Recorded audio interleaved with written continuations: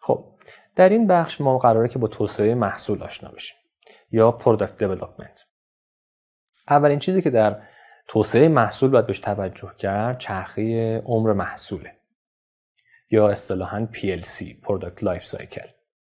من عمدا اصطلاحات انگلیسی رو هم بعضا توی پاورپوینت آوردم و تکرار می‌کنم که به گوشتون آشنا باشه و بعدا بتونید در مورد اینها تحقیق بکنید جستجو بکنید و باش بیشتر آشنا بشید. ما اصطلاحا یک S curve ی رو داریم یک نمودار شبیه یک S انگلیسی رو داریم که اون بیشتر تیکه اولش رو میگن. با یک اغماضی شبیه S میمونه. از اون جایی که داره شروع میشه پایین گوشه سمت چپ نمودار تا اون نقطه peak ش. همه محصولات بالاجبار این مراحل رو طی خواهند کرد. توی نمودار ما دو تا محور داریم می‌بینیم. در محور عمودی میزان فروش رو داریم رصد می‌کنیم و نمایش میدیم و در محور افقی زمان رو داریم نمایش میدیم. یک محصول وقتی وارد بازار میشه داره در حقیقت خودش رو شروع می‌کنه به معرفی کردن به مشتریان بالقوه خودش و کار سختی رو در پیش داره و بعد خیلی هزینه بکنه برای اینکه ورود بکنه به داستان. بعد از اینکه اون محصول اون مرحله معرفی رو طی کرد شروع به مرحله رشد می‌کنه و شروع می‌کنه به اوج گرفتن. میزان فروش بیشتر میشه. و بعد از اون داستان که مرحله رشد رو طی کرد به بلوغ می‌رسه. جایی که در حقیقت بیشینه فروش داره اتفاق میفته ماکسیموم اون چیزی که احتمالا برای محصول رو خواهد داد. تا اینجا ما یک نموداری رو می‌بینیم که شبیه یک اسی هستش که یه مقدار باز شده. حالا از اینجا به بعد ما مرحله رو شاهد خواهیم بود که اگر برای محصول کاری انجام ندیم قطعا تجربه می‌کنه و اون هم مرحله افول هست یا دیکلاین زمانی که دیگه بازار بنا به هر دلیلی که ممکنه پیش بیاد و در ادامه بهتون خواهم گفت محصول رو شروع می‌کنه به reject کردنش و ازش استفاده نخواهد کرد و شروع می‌کنه افت فروش رو تجربه کردن. حالا در اسلایدهای بعدی به جزئیات در مورد هر مرحله صحبت خواهیم کرد. فاز اول فاز introduction معرفی. در این مرحله محصول به بازار داره ورود می‌کنه و داره خودش رو معرفی می‌کنه و احتمالا رقبای کمی رو خواهد داشت یا اصلا بدون رقیب خواهد بود. در این زمان هر گونه فروشی که قرار باشه واسه محصول اتفاق بیفته با ضرر احتمالا همراهه. به خاطر اینکه شما اگر قرار باشه یک محصول رو معرفی بکنید به کاربران خودتون مجبورید که یک آفر ویژه هم بهشون بدید یک پیشنهاد ویژه هم بهشون بدید. احتمالا شما این مسئله رو تجربه دارید ازش.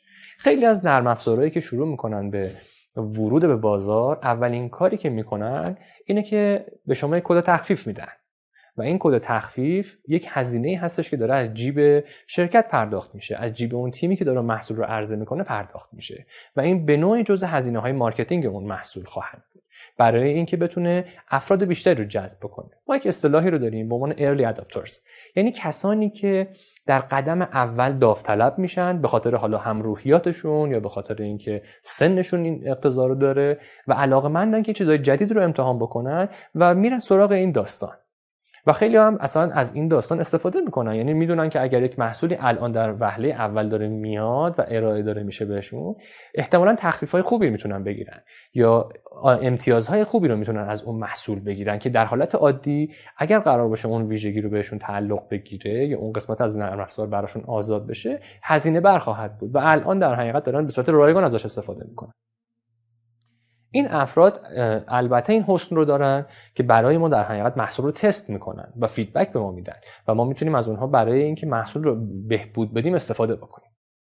اگر این مرحله رو ما طی بکنیم به مرحله رشد می‌رسیم. گروث تو این مرحله شما پذیرش محصول تو بازار اتفاق افتاده. یعنی تونستیم یک تعداد خوبی کاربر داشته باشیم نصب بگیریم اصطلاحا یا مثلا مشتری داشته باشیم که محصول رو خریداری کردن ازش استفاده کردن. افزایش فروش رو خواهد داد و شروع می‌کنیم به نمودارهای سعودی رو رصد کردن که آقا داره نصب زیاد میشه داره فروشمون زیاد میشه یوزرمون داره زیاد میشه جذب یوزر داریم برفرض. و این اتفاق واسه ما تو مرحله رشد خواهد افتاد که با یک درصدهای عجیب و غریبی مواجه میشیم. توی این مرحله ما بهبود محصول رو خواهیم داشت. یعنی باید محصول رو ازش feedback بگیریم از کاربرا و بهبودش بدیم و سعی بکنیم feature هایی رو ارائه بکنیم که مطلوب اونها هست. یا شروع کنیم ایرادها و bug هایی که تو محصول وجود داره رو رفع بکنیم.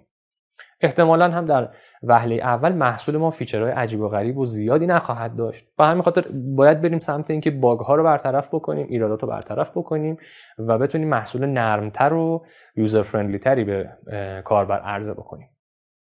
توی این مرحله اگر رشدی اتفاق بیفته احتمالا شاهد افزایش رقبا هم خواهید بود. چرا که تونستین جلب توجه اونا رو بکنید و احساس کردن که خب اگر تو این زمینه محصول شما یا شرکت شما داره موفق عمل می‌کنه احتمالا جا واسه اونها هم خواهد بود و می‌تونن یک محصولی رو عرضه بکنن که بتونن از این فرصت تو بازار استفاده بکنن. تو مرحله بعدی بلوغ یا مچوریتی رو داریم تجربه می‌کنیم.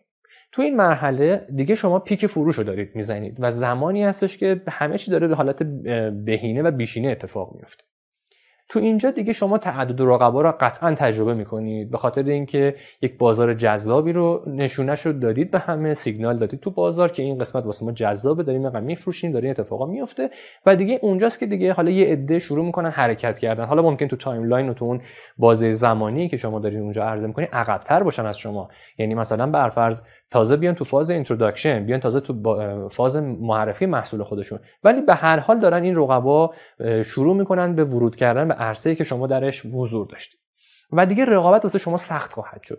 چرا؟ چون ممکنه که اونا تازه نفس باشن ممکنه که صحبت کرده باشن با سرمایه گذارشون و بگن که ما اینجا این فلان محصول داره اینقدر رشد می‌کنه اینقدر داره فروش می‌کنه پس ما هم می‌خوایم این ورود رو انجام بدیم و احتمالا ممکنه خیلی پر نفس و تازه نفس شروع بکنن سرمایه گذاری کردن و خیلی سریع به شما برسن. تو این مرحله مرحله فوق العاده خطرناکی هستش که شما باید بتونید فاصلتون رو با رقبای خودتون با بهبود محصولتون حفظ بکنید. اگر ما محصولمون به جایی برسه که دیگه نتونیم توش رشدی ایجاد بکنیم یا بازار نتونه در حقیقت اون رو تحمل بکنه و نخواد ممکنه ما دچار مرحله دیکلاین یا افت فروش بشیم. تو این مرحله شما دیگه نموداراتون سعودی نیست احتمالا نزولی شده حالا ممکنه با شیب زیاد یا شیب کم. و تاریخ مصرف محصولتون منقضی میشه. یعنی دیگه بازار به اون محصول شما اقبال نشون نمیده. و ممکنه که دیگه نخواد از اون محصول استفاده بکنه و شروع بکنه کاربراش افت کردن. این مرحله ممکنه به خاطر این اتفاق بیفته که یک شرکت رقیبی یک محصول رقیبی ورود کرده و داره از شما یوزر می‌گیره کاربر می‌گیره سهم بازار می‌گیره. در این مرحله احتمالا به علت تعدد رقبا و اینکه رقبا زیاد شدن دیگه تقریبا تبدیل میشه به اون داستان استراتژی اقیانوس قرمز و رقیب ها که زیاد میشن جذابیت این بازار از دست خواهد رفت. چرا که شما برای ورود به این عرصه احتمالا منتظر رقبای زیادی باید باشید و اینکه هزینه فوق العاده زیادی باید انجام بدید. چون احتمالا عقب هستین از بقیه تازه دارین شروع می‌کنید. اونها احتمالا یک مارکت چری رو گرفتن یک سهم بازاری رو گرفتن و شما باید بتونید به اونها غلبه بکنید که این احتمالا کار سختی خواهد اگر شما به محصولتون نرسید و نتونید اون رو بهینه بکنید احتمالا محصول ارتباطش رو با کاربر از دست میده و به نظرش بی ارتباط میشه کاربر. مشتری احساس می‌کنه که این محصول یه محصولیه که خوبه که من نیازمو که دیگه این برآورده نمی‌کنه. احتمالا رقبای جدیدی که اومدن ایده های جدیدی که روی محصول خودشون سوار کردن این جذابیت رو واسه اونها بیشتر می‌کنه و از محصول شما روی گردان خواهند شد. ولی اینو در نظر داشته باشید که لزوما این مرحله decline اتفاق نمیفته و ما همیشه چیزی که مد نظرمون هست این هستش که S curve ها رو به صورت پشت سر هم باید ببینیم. به خاطر همین بهش میگن S curve به خاطر اینکه نمیان این حالت بعد از قله رو متصور باشن برای محصول. سعی می‌کنن که وقتی که یک قله رو دارن می‌زنن با ارائه یک feature جدید با بهبود محصولشون یک S دیگر رو در ادامه برای این نمودار رسم بکنن و دوباره تو اون مرحله که شما تو peak هستین یک ویژگی جدید یک محصول جدیدی رو شروع می‌کنیم به معرفی کردن که اون هم تو اون مرحله واسه خودشه که حالت معرفیه و بلافاصله احتمالا شما ازش سوددهی نخواهید داشت. ولی در یک بازه زمانی شما وقتی نگاه می‌کنید می‌بینید روال و روند نمودارتون صعودیه. پس در ما نباید به این قائل باشیم که محصول دچار دیکلاین میشه و از بین بره. به همین خاطر عمر محصول رو با بهینه کردن و ایمپروف کردنش سعی می‌کنیم همیشه تمدید بکنیم.